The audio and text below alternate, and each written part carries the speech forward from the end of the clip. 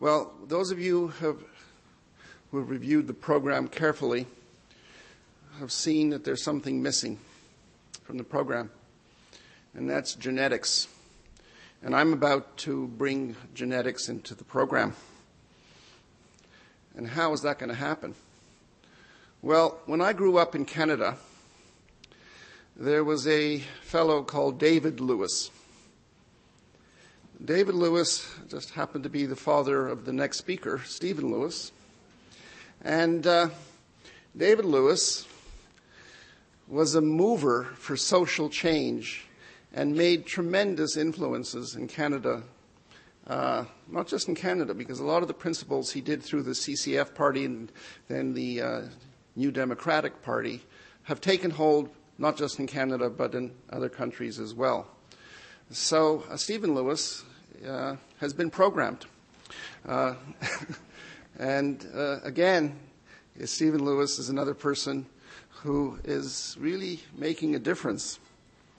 Uh, Stephen Lewis is co director of the AIDS Free World, a new international advocacy organization that works to promote the more urgent and more effective global responses to HIV/AIDS.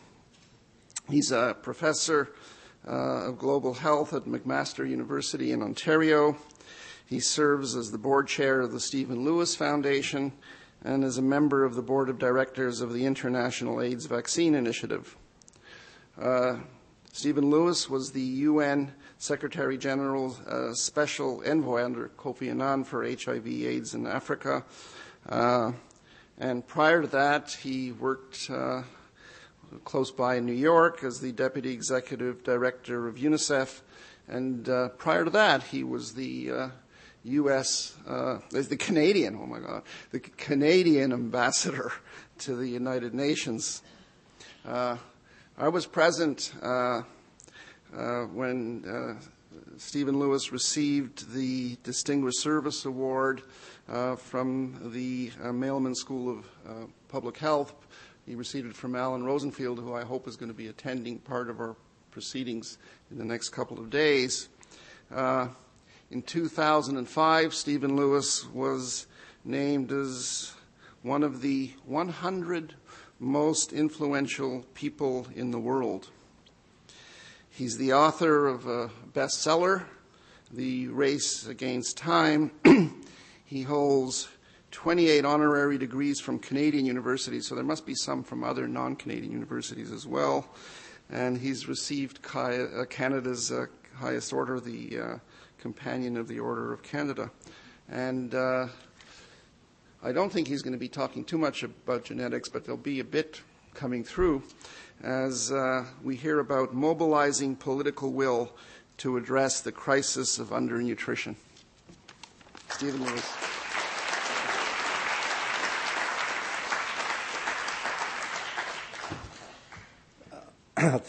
Thank you, Richard. I'm, I'm uh, entirely delighted to be here.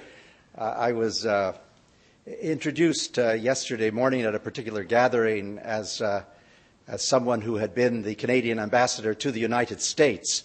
There's this constant determination to destroy my credibility.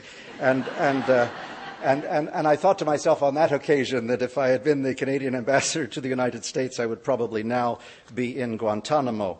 Uh, uh, I'm, uh, I'm, I'm, enormously uh, pleased to be here. It's lovely to see a number of associates from uh, previous years in my fetid and feckless life of yore.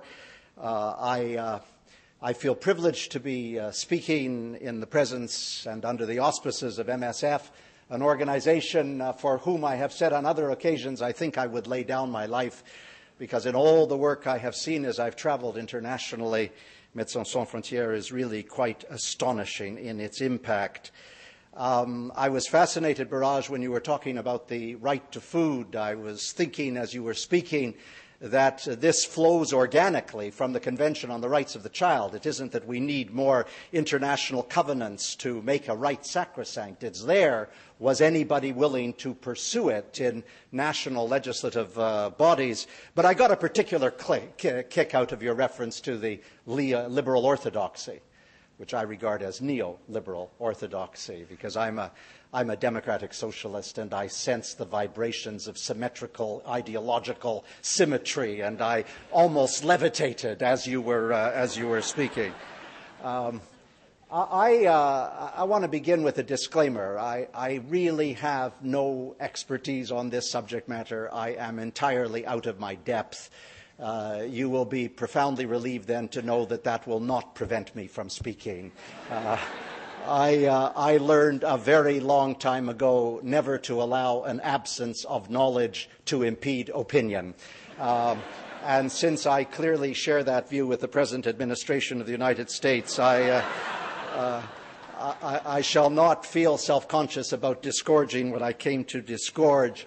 Uh, I have another opening ad- admission. I've had a small, minor domestic uh, emergency at home which preoccupied the last week, has come to a happy and felicitous conclusion.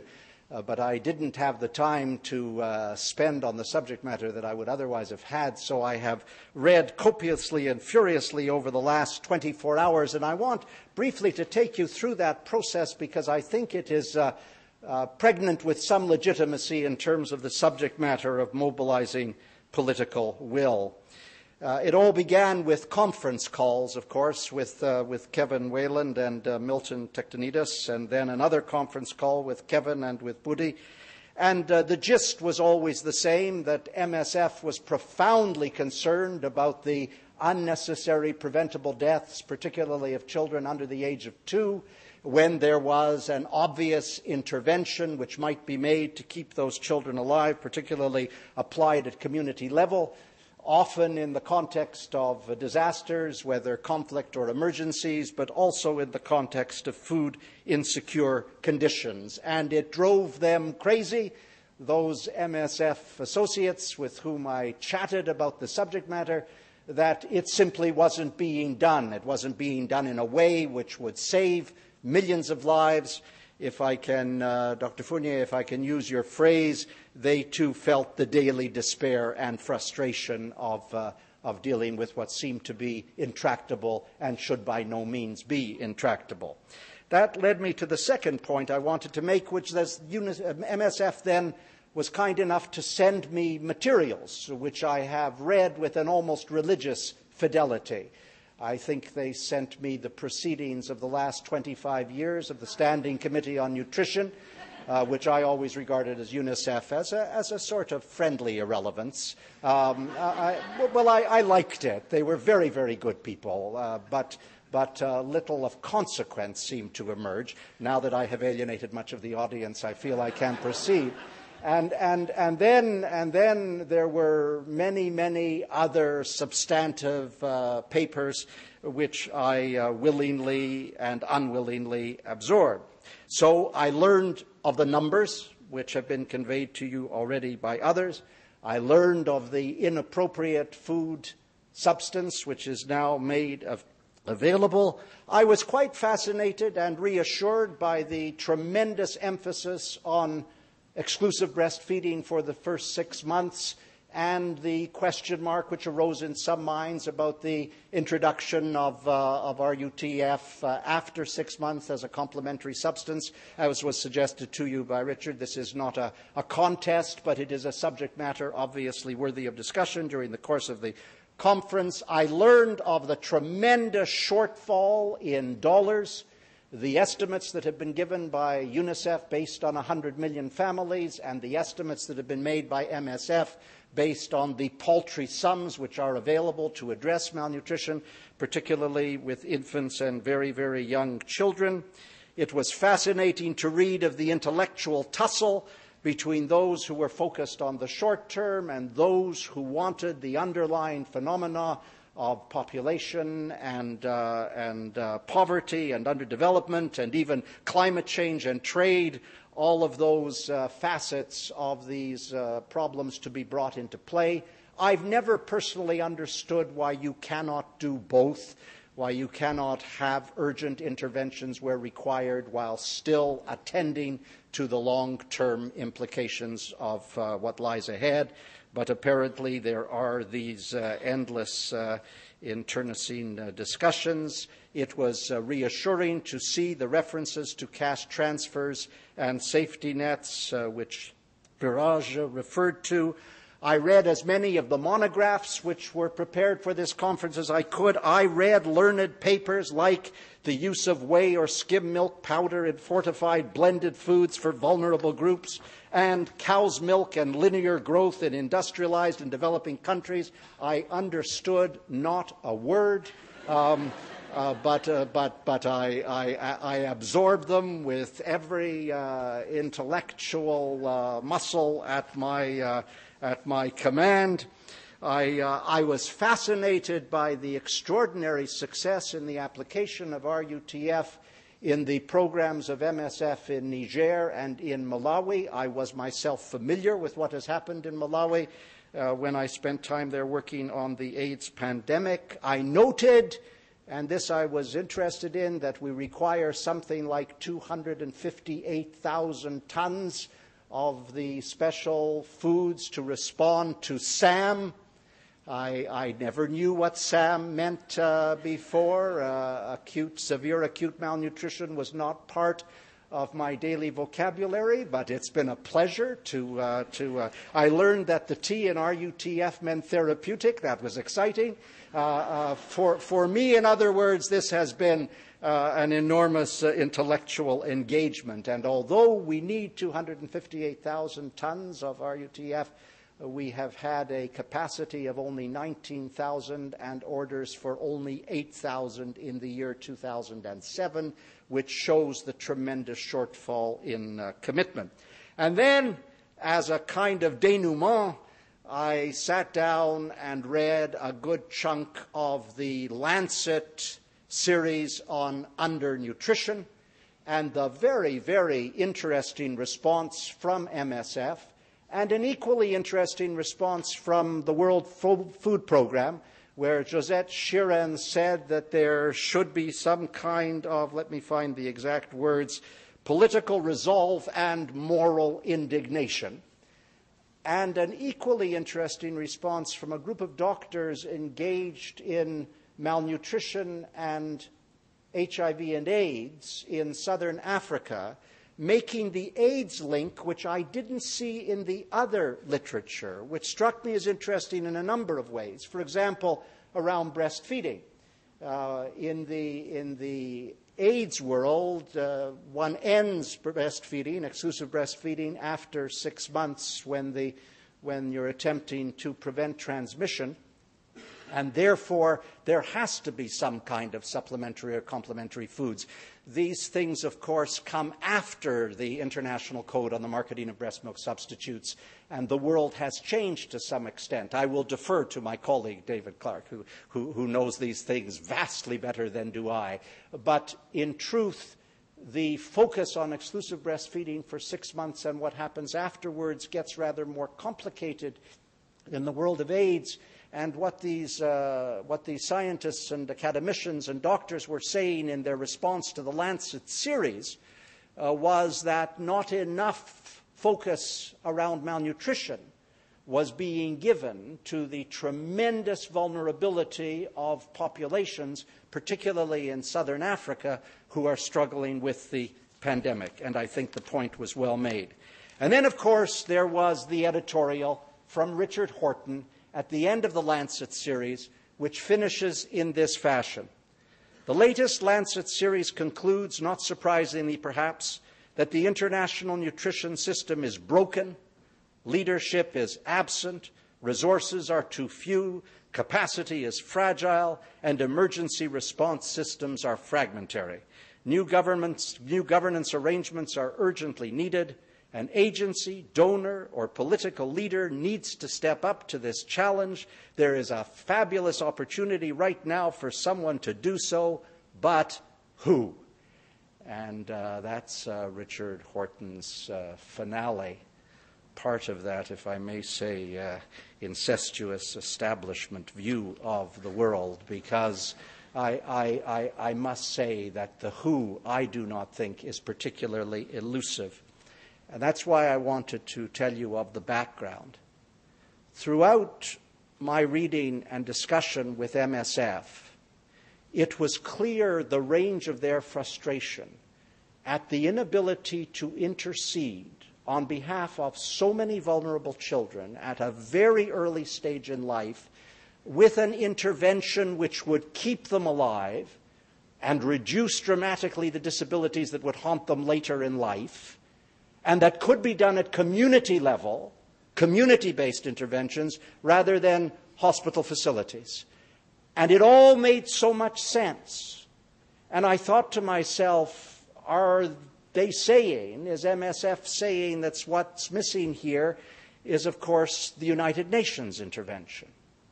And then I Googled RUTF and the UN references from the year 2007 and realized to my amazement, and this shows my own naivete and ignorance, and I apologize for it, but I admit it regularly, I noted that in the middle of 2007, WFP, UNICEF, and WHO, under the auspices of the Standing Committee on Nutrition, an exemplary group if ever there was one, uh, came together and absolutely agreed with everything that MSF was saying.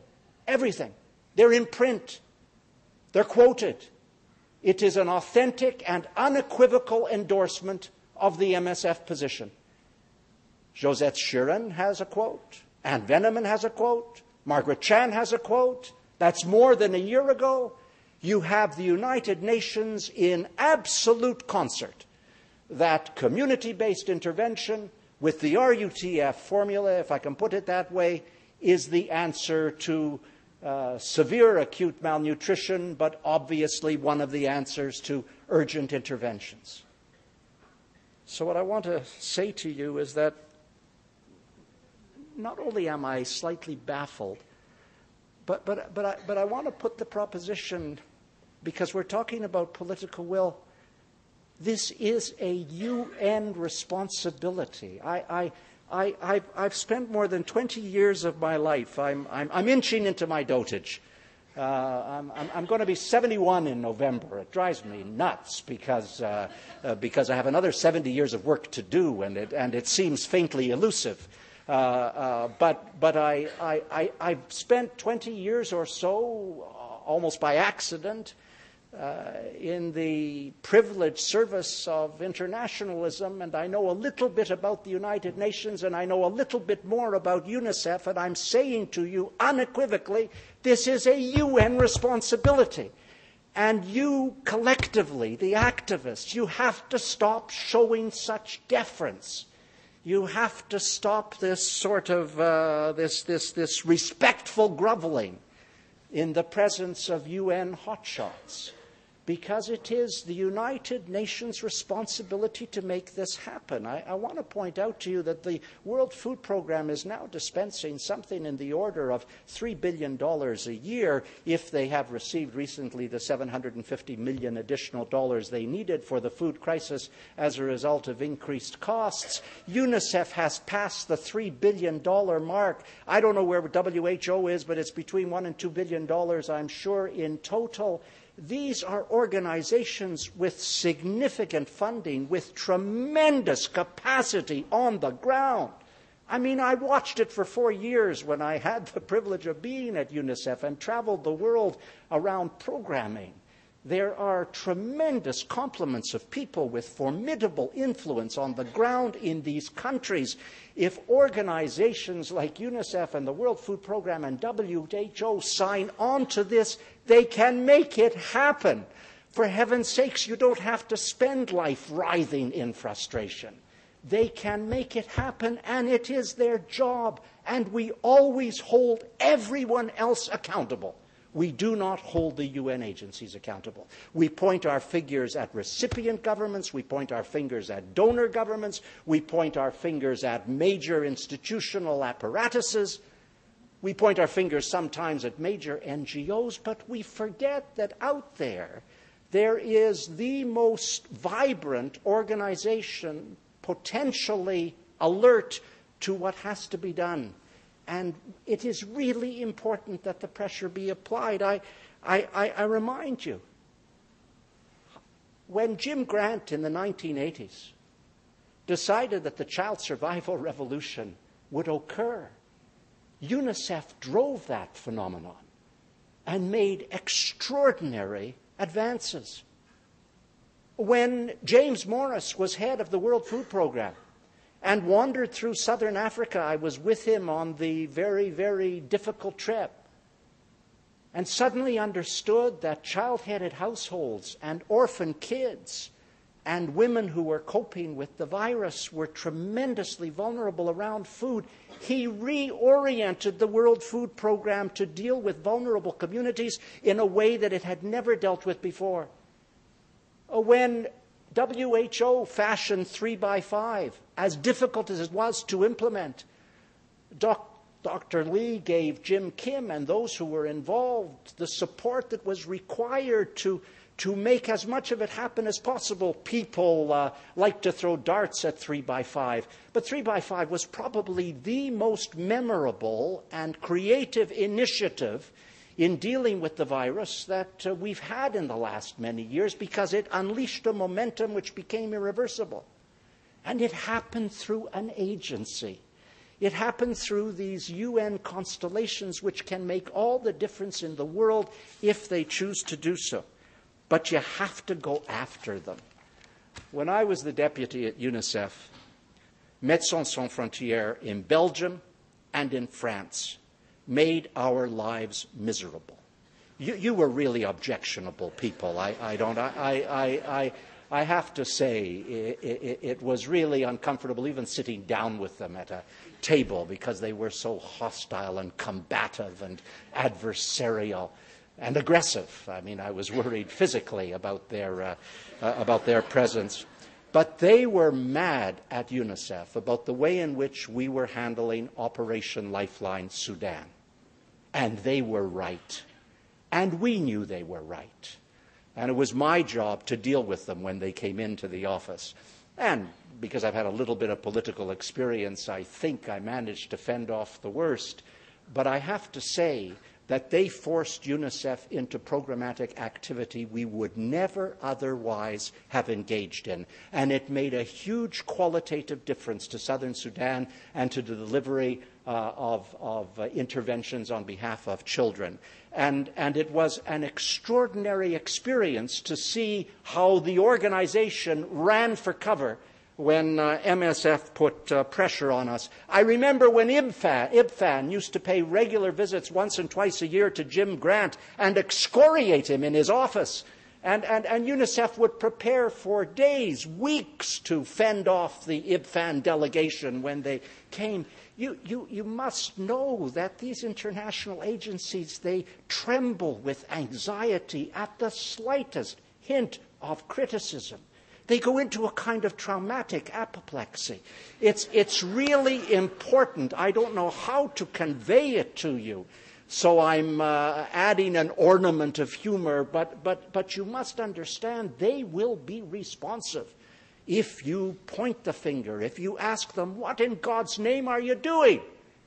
You all agreed publicly in a sacrosanct press release to which you added your names and your quotes that if effectively what MSF is asking for under Starved for Attention you endorse. So why, more than a year later, hasn't it happened? Where is the urgency? What in heaven's name is going on? There is no reason, none, why the objects of this conference can't be achieved. Certainly to be achieved by the year 2015 if it is to be added in incrementally consistent with the Millennium Development Goals. There's a report coming out in the United Nations today, this very day, from the Secretary General to demonstrate how the first seven goals are deficient in so many parts of the world. There was a major report on the eighth goal, which is the amount of money which should come from the G8 uh, in respect of the 0.7% of GDP to which they are allegedly committed, but which they dishonor and uh, sabotage and betray every time one of the G8 meetings is over. But it does give you a, a vehicle to provide pressure. These agencies can get the Secretary General to make of malnutrition a centerpiece of the UN's response to the G8. They, they, they, they can make of this a cause celeb. They can hold press conferences. They can express outrage. They can sit down with donor countries. It, it, it's, it's so important that people recognize the power of the agencies should they wish to exercise that power. And now that they're on side in such a critical issue, it seems to me that you should press them. Why have they not delivered? How is it possible that this continues to be the case? That of the 10 million children under the age of five who die of preventable diseases every year, nearly half of them die of one or another form of malnutrition and its impact on the body, and somehow this has not yet been curtailed and we have ways of, uh, of intervening. And I pointed out earlier that you have the Convention on the Rights of the Child. Forgive me, but that's the document which governs the role of these agencies. You have the Convention on the Elimination of Discrimination Against Women, which also has nutrition as a human right suffusing the document. You have the International Covenant on Economic, Social, and Cultural Rights, which gives nutrition the, the stated right which it requires, then how come the people who are responsible for overseeing and implementing these international human rights covenants have not yet done so? Where is the default? And why are we not agitated in that realm as in other realms? realms? I, I beg you not to accept forever the carefully orchestrated blandishments which are offered to you endlessly. The good intentions, the inevitable narrative of accomplishment. Press hard. You have a right to, and you will be surprised at the results. It's the way the world works. I, I saw it with, uh, with uh, HIV and AIDS and it was done largely by the NGO community. Do you really believe in this world that we would now have access to medicines, generic antiretrovirals at low cost, saving millions of lives if it wasn't for MSF's early and consistent, tenacious advocacy? It would not have happened. And it happened ironically in combination with other groups like the Clinton Foundation rather than through the United Nations as it should have happened but at least they came on side out of the sheer humiliation of having watched it occur from the sidelines. We had to make endless speeches about harm reduction before it began to enter the, the transcripts of the UNAIDS report. The same with women. Gender was utterly marginalized and sidelined, even though gender inequality was driving the pandemic and everybody knew it. But it took tremendous pressure to get it to become part and parcel of the intellectual apparatus of the United Nations establishment. At this recent International AIDS Conference in Mexico, a number of people brought together disabilities and AIDS for the first time. And suddenly, I see a confidential paper emerging from UNAIDS three or four days ago on guidelines for AIDS and disabilities you have to recognize that it's the constant pressure which will result in, in social change. The same thing with circumcision, the same thing with vertical transmission. I, I refuse other to, to acknowledge that we call it prevention of mother to child transmission because I'm simply fed to the teeth with the constant, the constant demonizing of the woman. I mean, it is just the normal male behavior, of course. But, but in the case of vertical transmission, you have to ask yourself this pandemic has been going on for more than 25 years. How is it that only a third of the HIV positive pregnant women have access to any form of drug? And then they have access largely to single dose nevirapine, not to the combination of antiretrovirals that we use in the Western world, which would reduce transmission by 98 or 99 percent rather than by 50 percent. The, the, the, truth of the matter is that there's so much by way of double standard. There's an insufficient sense of energy and commitment and determination. And that's what you have to ask for. That's what you have to insist upon. I, am perfectly willing. I'm, I'm with Biraj. I'm perfectly willing to use the legislative apparatus, to use jurisprudence, to go to individual politicians. But we have a vehicle. The vehicle is called the United Nations. We have agencies of immense power and formidable income, and a lot of people on the ground with influence with governments. There is no reason in the world when they themselves have endorsed the objectives. If they hadn't endorsed it, that would be a different situation. But endorse the objectives, they should be held to those objectives. So I urge you to confront them directly, do it respectfully, don't do it as I do it. Uh, do it uh, respectively and without any maniacal spasms. And, and, and, and I urge you to find a member country on the UNICEF Executive Board who is similarly inclined to raise it at the board. And the same with the World Food Program, and the same with, uh, with um, the World Health Organization. And I urge you to see it raised in parliaments because you will be amazed at the response that you will get. It will jolt everyone into action. One of the, uh, one of the sad things about this world is that children always occupy the lowest rung on the social and economic ladder. It's, uh, it's one of the most uh, offensive, objective realities. But this is a fairly formidable gathering of people who care about these issues around children. And I, uh, I beg you to pull out all the stops. As you can see, my, my impatience is palpable. My exasperation is all enveloping. Uh, but I truly and deeply believe that we can turn things around. And I thank MSF immensely for having made this gathering possible. Thank you.